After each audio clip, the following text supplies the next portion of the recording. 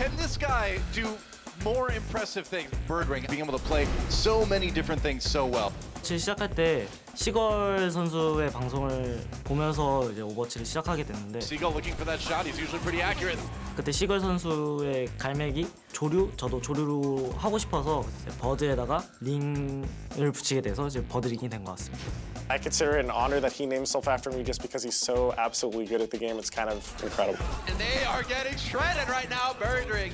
한국에서도 이제 시걸 하면은 그래도 오버워치 하는 오버워치 좀 했다 하는 시- 사람들은 이제 다 아는 정도라고 생각해요.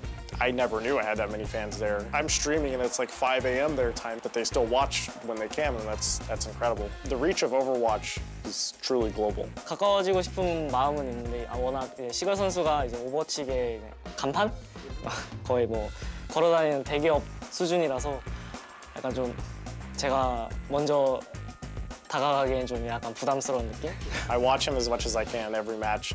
When we were sitting in scrims and I could spectate, I was spectating him most of the time. He is extremely good, and I, I would love to play against him. All the kills for Birdring. He is greedy right now. I really want to meet him. I still haven't. I've I've played his team, but I haven't talked to him or met him in real life yet.